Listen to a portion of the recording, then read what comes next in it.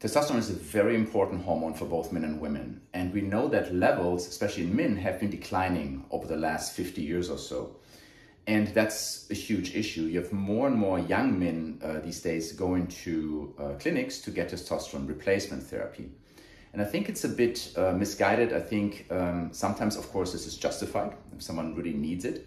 But I think a lot of times we can do things to optimize our, our testosterone levels before going to that step. And especially in younger men, I think that's something that needs to be evaluated. But then again, also women do supplement sometimes with testosterone um, because women do also benefit from having normal testosterone levels. But I want to talk a bit about, you know, other things we can do before jumping to supplementation by taking it as an injection or as a, as a gel, like this androgel. What else can be done to optimize these levels and what's the reason why they are low? So again, over the last 50 years, they've really declined. And one reason I talked about another video about is uh, increased exposure to plastics. So we know that these um, phthalates and bisphenols, they're right down here, um, are actually hormone disruptors. And they can certainly um, have an impact on that. They can have an impact on testosterone as well, on estrogen and testosterone.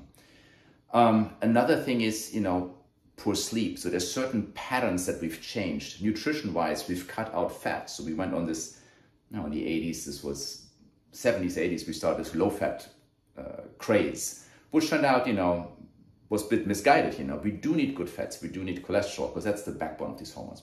But I'm going to jump into it a bit. So, uh, to understand testosterone, and again, there's many videos about this, but I think it's important to just realize this. So we have a total testosterone and a free testosterone. So the total testosterone, and there are some levels here that our lab does, um, 241 to 827 nanograms per deciliter then the free testosterone is only about 2% of the total. So that's between 46 to 224. And that's the important one. And why is that important? So most of your testosterone, 98%, is bound to proteins. Most of it is bound to sex hormone binding globulin. That's kind of a weird thing. SHBG is the abbreviation for that. Sex hormone binding globulin. And these are also levels that we can measure. And I'm going to talk about why that's important as well. And part of it is bound to albumin. But for practical purposes, once testosterone is bound to protein, it can be used. The testosterone that does the work in the body where we need it. And we're mostly talking about skeletal muscle today, that there's other tissues where testosterone is active as well. But for simplicity, we're focusing on that. So it's only the free portion of the testosterone that we can use. The rest of it is really bound and for practical purposes, we can't, we can't use it. So again, when we think about that, now if you replace testosterone, you're replacing uh, and you're increasing total testosterone.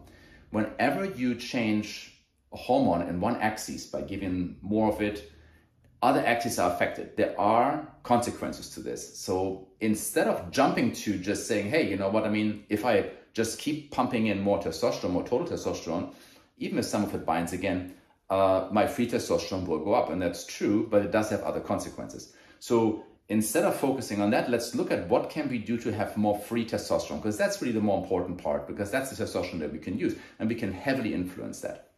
So one thing is high intensity weightlifting, and there are plenty of studies on that. I'm going to link some studies to this, um, uh, talk about this. So meaning frequently working out more than three times a week. We're talking about four, five, six, uh, even seven times a week. You know, you can split up muscle groups, but heavy lifting and when we talk about heavy lifting, it's not, you know, don't injure yourself, but basically go to the point of real muscle fatigue, you know, and that's really crucial. And I, I know when I was when I was younger, when I worked out, my intensity was much higher. You know, I had more energy, you know, and I just had more drive to do it. And so as I'm as I've become older, I mean, I've become a bit more complacent about it. And lately, I've you know pushed myself more again because it's important to realize when you're lifting, you know, you can have one person lift, you know, kind of, you know, half-ass and not have great results. And then, you know, if that person is more motivated, they work out with a trainer or, you know, a training partner that kind of motivates them, they get better results. And uh, it's really in the effort that we put in, you know, don't stop at rep number 10. If you can keep going, keep going, and then slightly increase the weight, always keep it safe. Don't injure yourself, of course. But the intensity is key. Uh, also, larger muscle groups, of course, you will have more response. And you will see testosterone will spike after that. It's transient, it's a short spike, but it's an important one that we can utilize. Um, dietary protein and saturated fats. So if we take in a diet that's too low in dietary protein and in saturated fat, and that's actually very important. So saturated fat is important because essentially, you know, cholesterol fats are the backbone to building uh, cholesterol. That's the building block. Without it, we can't make it. And again, I talked about these low fat diets. And I think part of the reason why over these last 50, 60 years, testosterone has plummeted so much, everything is low fat. And we know for a while now that this was misguided. Cholesterol is misunderstood. I did a video about that. You don't have to be afraid of saturated fat, you know, have good fats. I always talk about the fats um, for cooking that I recommend. And I know I'm sounding like a broken record probably about this, but it's butter, you have um, avocado oil, coconut oil, and olive oil, and those are very good. And then, of course, things like, like eggs, like whole eggs, you know, they have very good fats, and these are all building blocks for uh, hormones for testosterone that are uh, very much necessary for proper functioning. So that's very important. Also, good proteins. The one thing to remember is cut out the things like soy protein. So soy protein is, is very bad. It's very estrogenic. And when we think of healthy estro- uh, sorry, healthy testosterone levels, uh, soy does get in the way because it's very estrogenic. So I would not recommend any, any soy protein consumption. When it comes to supplementation, you know, I mean, most of the uh, protein should come from good sources. If you're not vegetarian or, or vegan, then meats are certainly a very good source. You know, red meat, uh, chicken, fish is good. Uh, for vegetarians, eggs are absolutely very good, you know. And then even in some milk products, more in the yogurts, I don't like uh, regular milk because of the high uh, uh, lactose in there but some milk products are fine, you know. Um, for vegans, you know, again, there are um, pea protein is certainly a protein that, that can be used and it should replace soy protein. This is a much better choice. Sleep. Many studies have shown that sleep, um, ideally eight hours a night of good sleep. I know that sounds a bit unrealistic. I would say I probably get about seven hours of sleep, um, you know, of, of good sleep. Um, but sleep is hugely important. For each hour of sleep under eight hours, there's a rough guideline. You may lose 10 to 15% of your testosterone. It's that impactful. So sleep is crucial. And, you know, that's one of the things too, when we think about over the last 50, 60 years, arguably, um, stress levels are up, you know, uh, we work more, we have less rest, and we don't take care of ourselves very well. So, but I think sleep is something that is very um, underutilized to optimize our testosterone level. So try to get really good sleep. It's very important.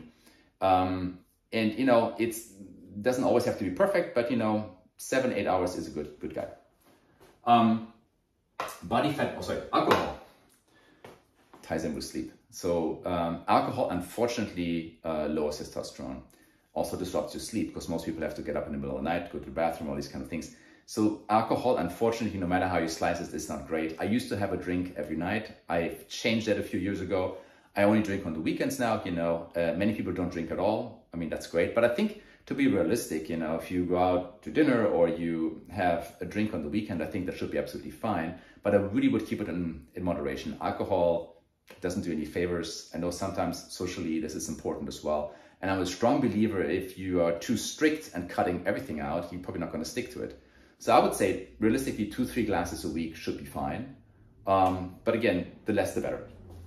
Um, body fat. That's a very interesting one. The more body fat we have, especially visceral fat, the lower the testosterone, and especially for men, the higher the estrogen goes. So it's a, a we know that uh, body fat, uh, also for women, uh, having too much body fat, we have hormonal issues. We think of polycystic ovarian disease, which is really related to excess body fat. And as the body fat comes down, uh, hormones regulate. So for men, having a lower body fat will definitely increase your testosterone and lower estrogen. So it's going to shift that hormonal axis in the right pattern. And that's a very important one. Um, and I want to bring this up briefly when I talked about high intensity weightlifting. I mean, not only does it increase total and thereby a fraction of the free testosterone, um, it does decrease the sex hormone binding globulin that I mentioned. And that is again this hormone that makes it unusable. So we're lowering sex hormone binding uh, globulin, which is very important. And therefore we have much more free testosterone, which is really what we want because we don't care so much about the total number, we care about the free testosterone. And also that's the one thing that upregulates your androgen receptor density. Androgen receptor density is uh, hugely important. And that's something, you know, again, when you have this uh, testosterone, it can only link to certain receptors on certain cells to trigger its response. And if we don't have enough of these receptors, it's not going to do anything. So there's very, very few things that can upregulate androgen receptor density. You know, but the weightlifting that I mentioned, you know, the intense weightlifting is one of the things that can significantly upregulate androgen receptor density. It's a very important one. So we can't um, always rely on, you know, a pill or a shot or anything like that. you know, sometimes we have to put some hard work in to get excellent results from that. Okay. And then myostatin is another component I want to mention briefly. So myostatin is an interesting one. So these are all influencing our hormonal axis when it comes to testosterone. Now myostatin is something that your, your body secretes when it thinks you have too much muscle. You think of bodybuilders having a lot of muscle. That is something where your body says, you know, this is not very good for me for several reasons, you know. Um, you know, uh, metabolically and then blood pressure and all these kind of things can become issues when people have too much muscle. So the body then secretes myostatin. And myostatin is really difficult to bring down. Uh, but again, one thing that can bring myostatin down is high intensity weight training. And uh, dietary protein saturated fat can bring it down as well. So these are the two things, right? Okay, so um, on sleep, we're going to upregulate total testosterone and free testosterone to some extent. Um, and again, also sleep can bring down, very importantly, sex hormone binding globulin, which is what we want, because this is the main hormone that binds testosterone to make it unusable. And alcohol, unfortunately, does the opposite. It increases sex hormone binding globulin, and that's an interesting one. So when we think of um, things that damage the liver, such as alcohol or simply getting older, you know, the older we get, the liver over time accumulates damage, especially when we had a lifestyle that wasn't very, you know, good for our liver. The liver, as it becomes worse, makes more sex hormone binding globulin, the hormone we don't want. So as you, um, you know, do bad things for your liver, the liver kind of has this revenge thing of just, you know, increasing your sex hormone binding globulin and decreasing your testosterone, which is not good, right? So it's very important to remember this, that alcohol can certainly do that. Um, and we got to be a bit careful with that. And sleep, um, you know, again, can bring it down, which is what we want. We want less of this and then alcohol can bring it up, unfortunately. If you decrease your body fat, as I mentioned before, total testosterone, free testosterone goes up, and also sex hormone globulin goes down. So this is a very important one, right? Just simply by, you know, bringing your body fat down. Now, let's talk about some uh, nutrients. Uh, zinc has been studied. Zinc is, is very important. Um, we know zinc is important when we think of viral illnesses. Um, it's good, good for the immune response. But also it has an, a high impact on testosterone, and that's a very interesting one. So zinc can increase total testosterone, free testosterone, and it can also decrease sex hormone binding globulin. And that's actually very important. Um, we think of many minerals such as zinc, and I'm going to mention boron later. And these minerals or trace minerals are less available in our nutrition. And the reason is over farming, you know, and, and processing foods has decreased the uh, amount of some of these minerals. So um, taking small amounts of zinc might be helpful. Always, again, this is not medical advice. Talk to your doctor. Um, you might have a condition where you should not. But if you're okay with it, somewhere between 20 and 30 milligrams a day um, is something that can be helpful for healthy testosterone levels. Zinc is not really stored very well, so we kind of have to take it daily. Um, vitamin D. So vitamin D is also um, a bit more of a hormone. Um, it acts as a, as a hormone rather than a vitamin, uh, but we found that it's actually very important for uh, testosterone. So it can increase testosterone levels, um, thereby increasing some of the uh, free testosterone. And interestingly, for vitamin D and zinc, both of them lower sex hormone binding globulin. I think that's the more important part of these. Yes, they can raise the total levels, but again, what's interesting for us is how can we decrease this protein that's binding the testosterone to make it unusable? And that is basically um, something that both zinc and vitamin D can do. So they can both lower sex hormone binding globulin. So that's very important. Next point is a bit sensitive. So statins. Um, so statins are medications used to lower LDL cholesterol. I am not a huge fan of statins. I think they have a they have a proper use in in medicine. They can be cardioprotective. So if someone just had a heart attack, you know, or a very high risk of a heart attack, there's a family history and all that Statins have been shown to be protective to the heart, so that's true. But just giving statins when someone's total cholesterol is slightly elevated, in my opinion, is a mistake. Um, again, it's a bit misguided. We always thought that, oh, just by all means, we need to lower LDL cholesterol. And I did a talk about cholesterol. This might be something that you want to uh, look at. But LDL is not, is not bad. You know, it's been made out to be bad, but that's not quite the case. It only becomes bad when it becomes oxidized. How does LDL become oxidized? It's if it's in the presence of too much uh, sugar, too much carbohydrates.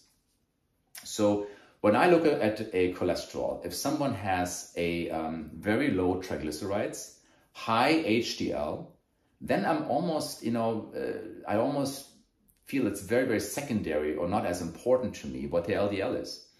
Um, and that and the reason is that again, if your triglycerides are on the very low side and your HDL is very high, that's very protective, and also shows that your uh, uh, carbohydrate consumption is on the lower side.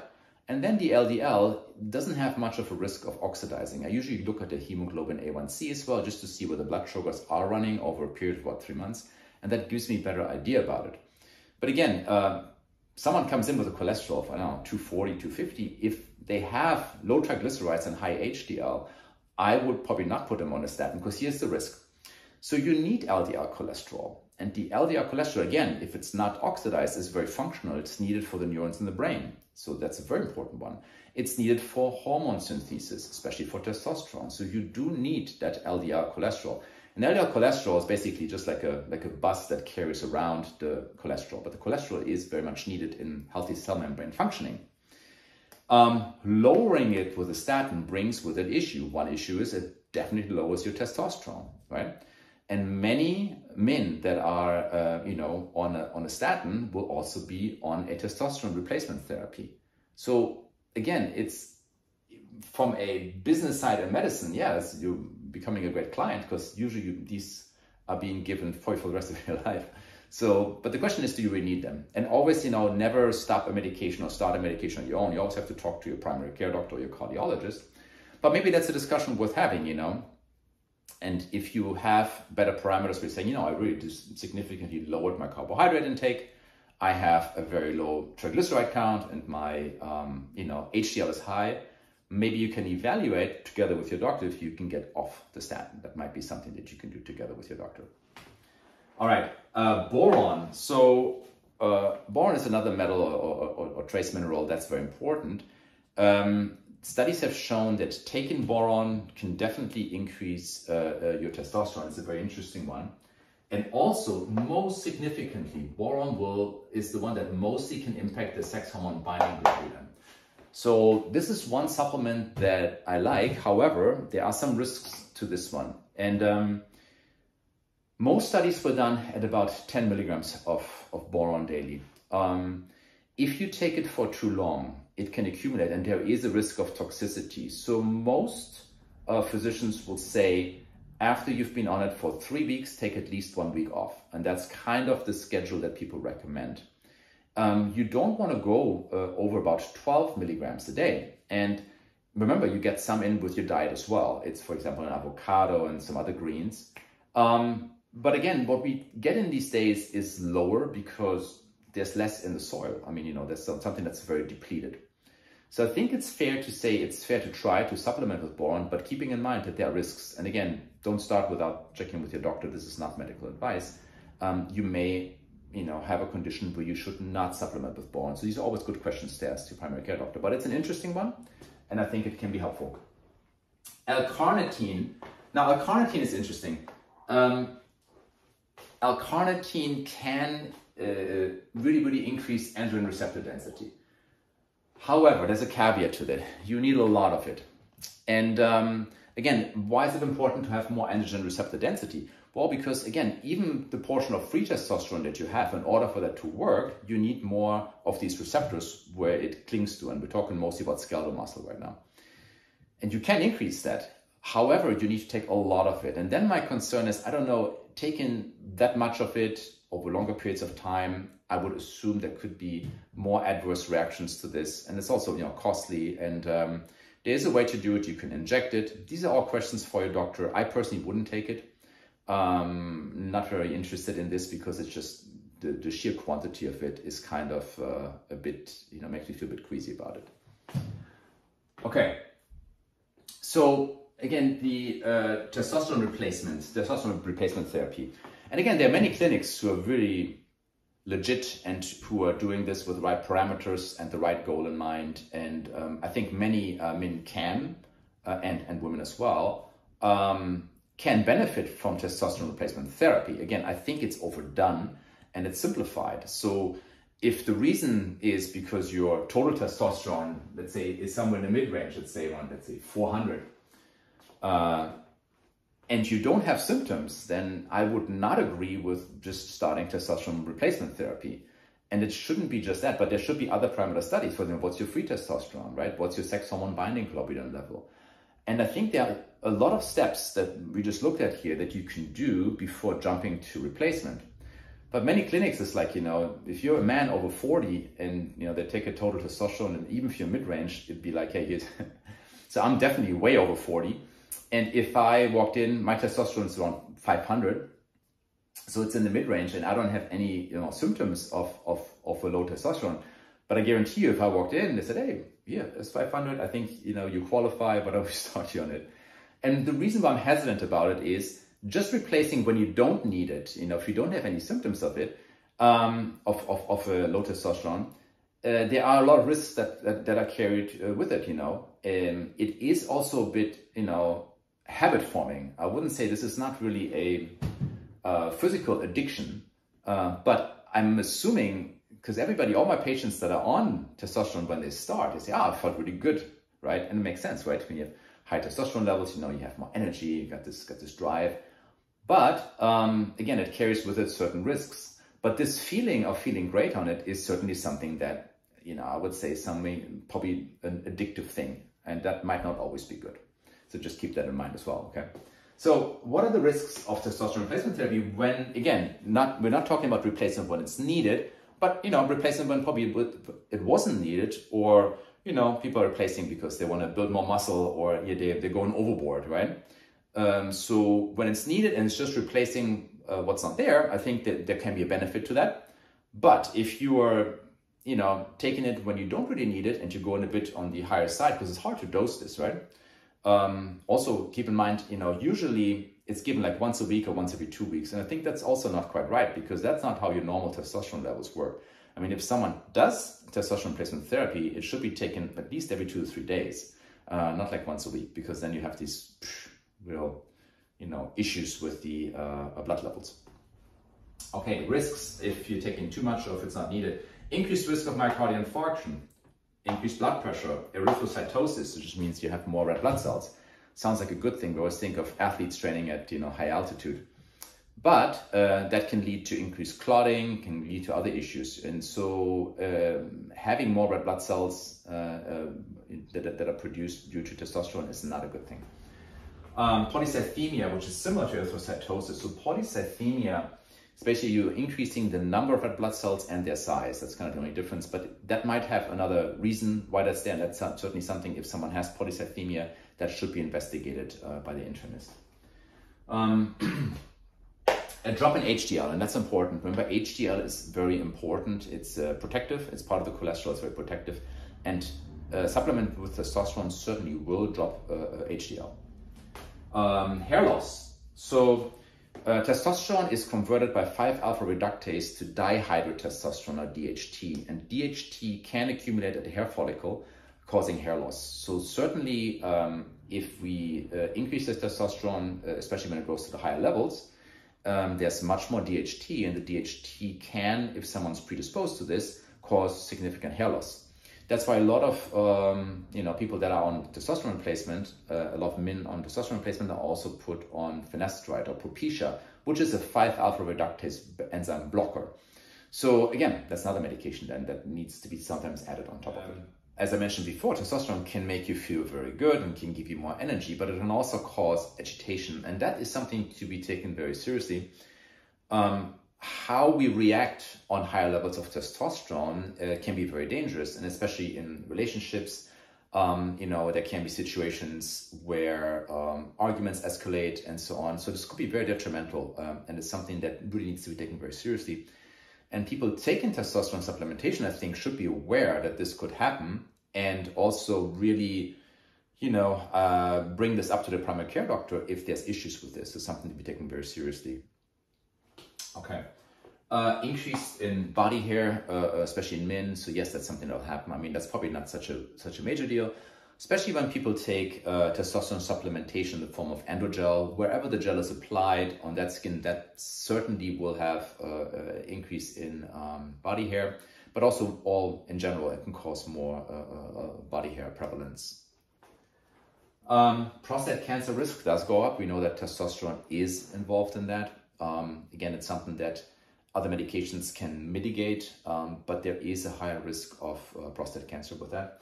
Gynecomastia is really if you stop the testosterone. And that's kind of the caveat also that I'm thinking about.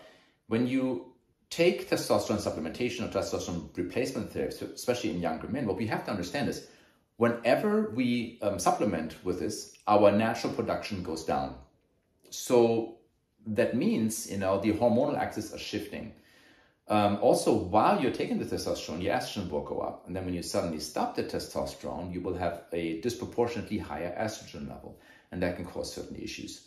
So I think the issue that we should think about, if you don't truly need it, um, why I would say ask questions first and explore other ways to optimize your free testosterone is once you're on it, uh, when you stop it, uh, you will actually be below the baseline where you started, at least for a while. And um, again, that's something that needs to be explained to you before you, you know, start a uh, replacement therapy. Again, if it's something where we say, look, this is certainly needed, then that's certainly something that uh, um, should possibly be done. But in many cases, I think we just uh, should optimize other factors first. Okay, and then as I mentioned before, another way that's important, cut out your um, plastics in contact with food. I did a video about that. So the um, phthalates and bisphenols, we think about BPA, but there's others as well. When, it, when it says BPA free, then they have, you know, BPS, BPF, they have others in there. And all these are hormone disruptors and they can certainly decrease your testosterone levels.